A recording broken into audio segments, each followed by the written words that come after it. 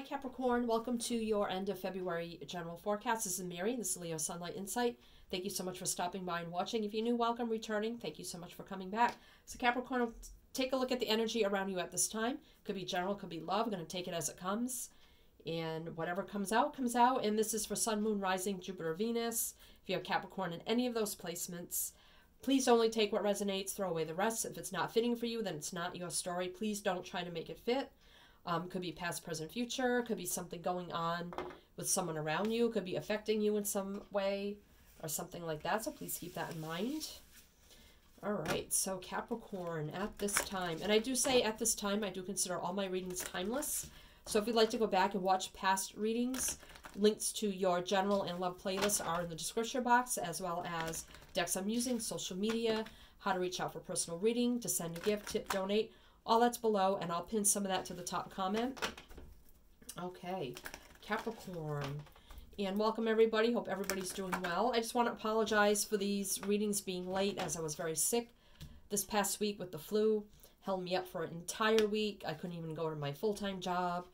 And now I'm feeling better. I do have a little bit of a cough still, so I may cough a little bit throughout the reading, and I just want to apologize uh, um, in advance for that.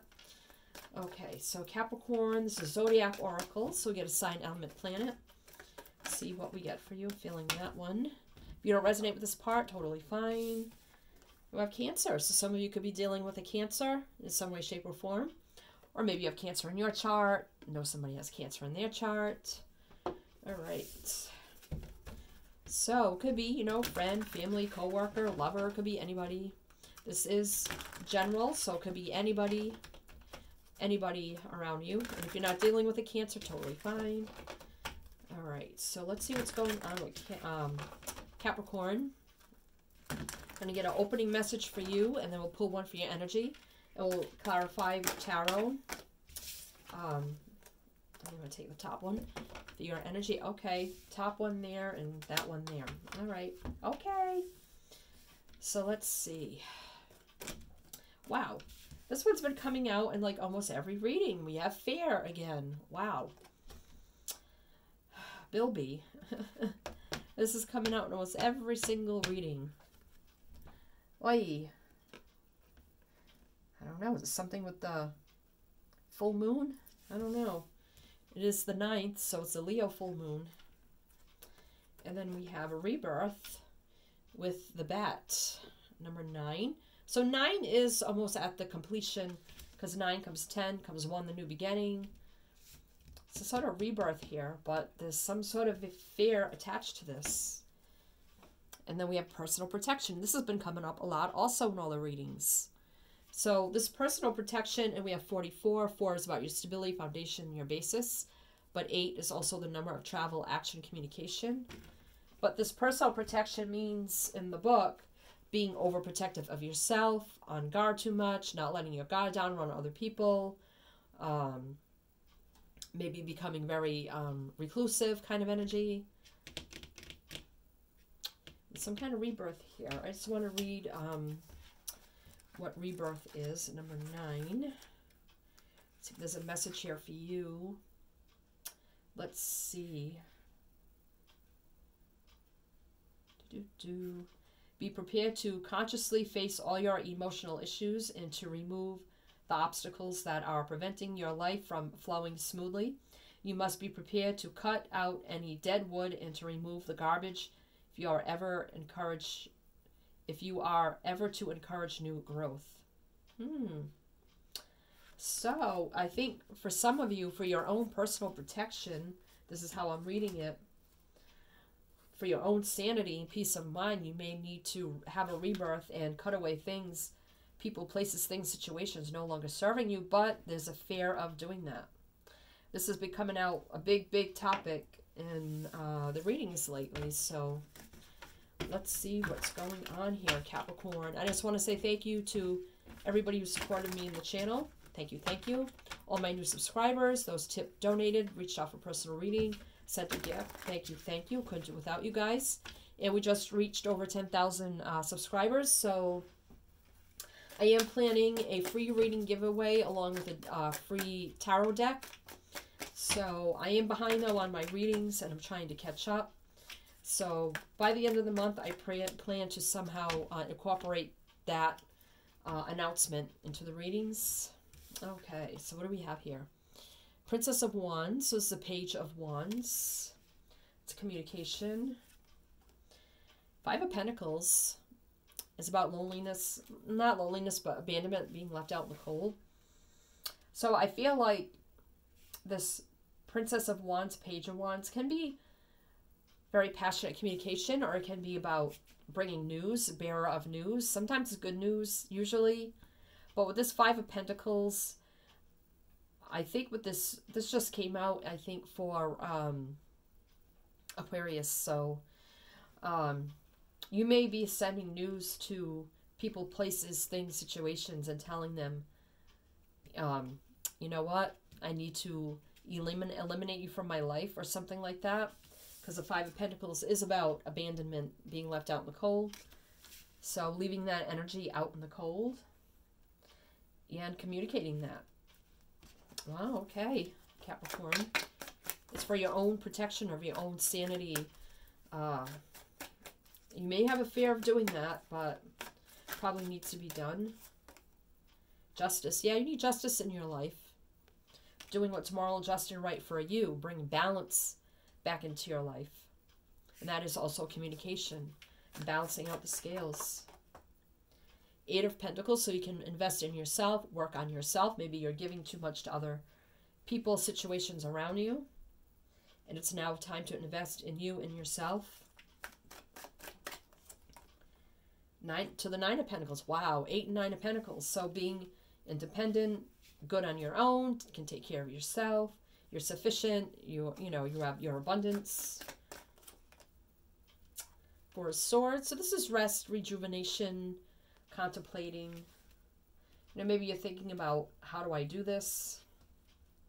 Or you know, you do it and then maybe you you fear doing it, but you do it and then you feel guilty. So here's energy of, you know, going and resting, recuperating, thinking, contemplating kind of energy, healing kind of energy over this. You know, maybe it hurt you that you had to do it, but you know, I think it may be necessary for your own um, growth and, and independence. Three of Pentacles, though. So this is about, you know, learning something new, mastering a craft, working well with others. You know, this could be a work situation, people that you work with. So now we have the Prince of Cups. I do believe it's the Knight of Cups. So taking action in a loving, compassionate, peaceful energy. Three of Wands, though, is a period of waiting.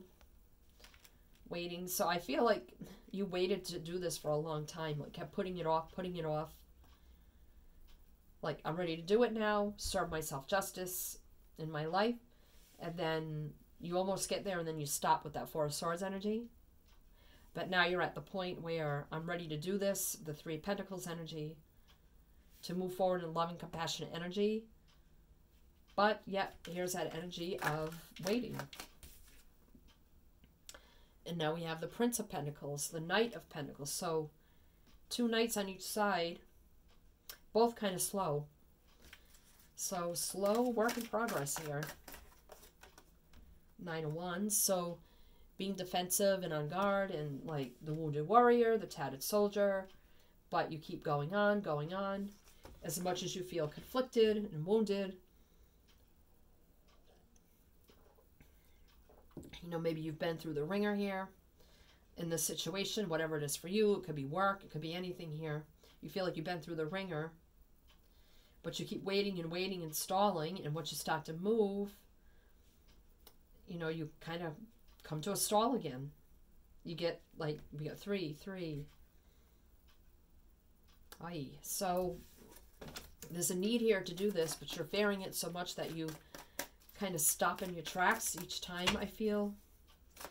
And you just feel worn out, beat, tired. See what your advice is. Six of Wands. Yeah, you need to get the success, victory, accomplishment that you need. So that is the card of success. The tower. Yeah, you need to cause some tower moments here. As much as you're fearing it, as much as you don't want to do it, it's here. to bring in your peace of mind, your, your sanity, your accomplishment, your success, you have to cause these tower moments. You have to use that sword. Cut away things no longer serving you. Yeah, fear, stress, worry, anxiety here.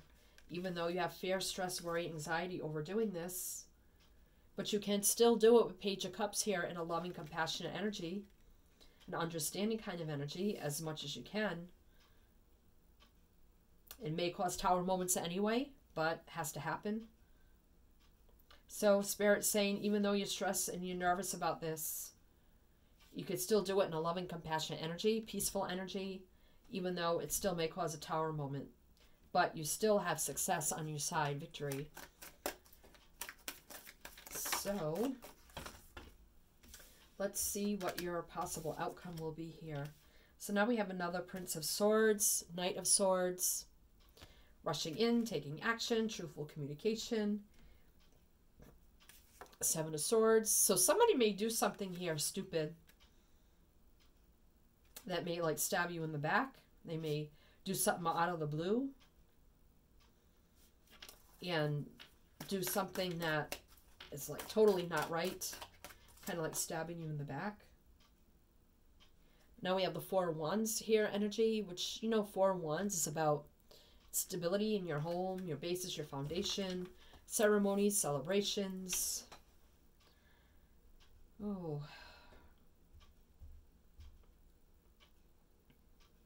I don't know. I just feel like somebody may do something here, the Seven of Swords, which may cause you to rush in out of the blue and just like be like out of control and just like eliminate anything no longer serving you. And then you're going to be much more stable as the outcome here, Four Wands, in your home life, in your personal life, in your work life. I think it's going to take for you to act on this and do what you need to do, somebody to do something random out of the blue that's disre- disrespectful, that's um, not a good energy, to finally step up to the plate and you're almost like going to go out of control and just use that sword and just bam, bam, bam, and done. And there you back and you're very stable here with the four wands. It's kind of I wouldn't like to see it to get to that energy if you could get out of the stuck energy of fear and just do what you need to do. But I think it's going to take a tower moment of somebody doing something uncalled for or something that they shouldn't be doing to make you do what you need to do. That will lead to your stability back in your life. Oh, let's see what's on the bottom of the deck. Prince of Wands. A lot of action here. We have all these knight action here, Prince of Wands, the Knight of Wands, is a go getter kind of energy. They go after what they want, a lot of drive, ambition. They're not afraid to do it. They're not afraid to end things that are no longer serving them. The Hierophant, doing what's moral, just, and right, value, uh, structure kind of energy. But juggling things around with the Two of Pentacles. Being too caring, nurturing, giving, loving kind of energy you know, maybe having too much sympathy, empathy towards people. Um, you know, confusion with the Seven of Cups. But ultimately, things have to end here with the Ten of Wands. Things have to end here with the Ten of Wands. Even though there's confusion, maybe being oversensitive, too empathetic, compassionate towards people, juggling too much around, the energy, even though you know the right thing to do is to end situations and taking that action to do so. Okay, Capricorn, we have Leo, Sag, Aries. We have Scorpio, Taurus, uh, Cancer, Scorpio, Pisces. Let's see. We have Gemini, Libra, Aquarius. We have Cancer, Scorpio, Pisces. Uh, trying to remember what we have here. Aries or Aries or Scorpio. Some say Scorpio. Um, Libra, Gemini, Aquarius. Virgo, Taurus, Capricorn. Let's see. Libra. Leo, Sagittarius. And I'm making a mess of my cards here, but All right, so let's get some closing messages for you here, Capricorn. And I do ask Capricorn, or if you're new, you like my style, how I read, you can check out my channel. You like what you see, please feel free to like, share, subscribe, comment. I love to read your comments. Get about five readings a month, and if you do, thank you, thank you. Don't forget to hit the bell. All right, Capricorn, let's get some closing messages for you. Divine passion, be honest with yourself. What is your heart's true desire? So, yeah, you need to be honest with yourself here in this situation. You know what your heart really wants you to do, you need to do. But I think there's too much fear, stress, anxiety. Okay, you may let people guilt you. quiet time. Take some quiet time alone to rest, meditate, and contemplate. Yep. Deciding what you need to do here. Aphrodite, inner goddess. Awaken the goddess within you through dance, self care, and appreciating your divinity. Knowing you have the inner goddess to do what you need to do. Let's get one more. Sacred space. Create an altar or visit a power place to connect with the divine. Message for some. And on the bottom, Mother Mary, expect a miracle. Have faith that your prayers have been heard and are being answered. So it'd be a miracle, but I think you can do what you need to do. Okay, Capricorn, good, best of luck to you. Sending you many light, love, and blessings. And as I always say with my channel, is to always, always shine your light.